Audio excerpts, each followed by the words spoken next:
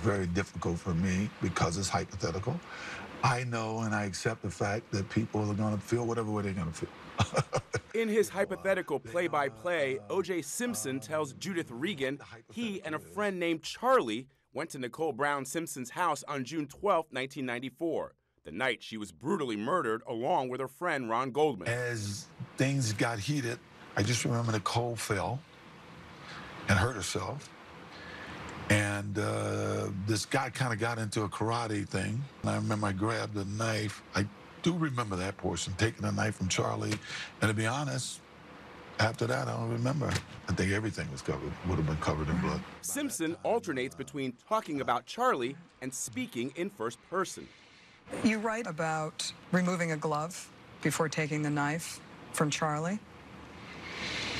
Uh, you know, I had no conscious uh, memory of doing that, but obviously I must have because they found the glove there. The former football star then says he and Charlie fled and tossed the bloody clothes. I think Charlie is OJ.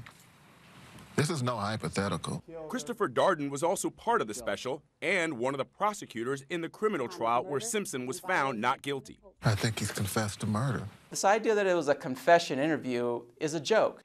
Sunday, Simpson's attorney Malcolm LaVergne claimed Regan was leading Simpson through the interview to push book sales. This was scripted by Judith Regan, the publisher of the book, and Mr. Simpson went along because, quite frankly, he got a lot of money up front to go along with this. More than a decade later, LaVergne says his client is moving on. Still, the public may not be ready to do so. Everybody is going to give their opinion. He was guilty or he was purging his guilt. Whatever you want to take from it, I cannot control it. In a statement, Judith Regan tells CBS News, as anyone can see from his responses on the special, I did not feed him lines.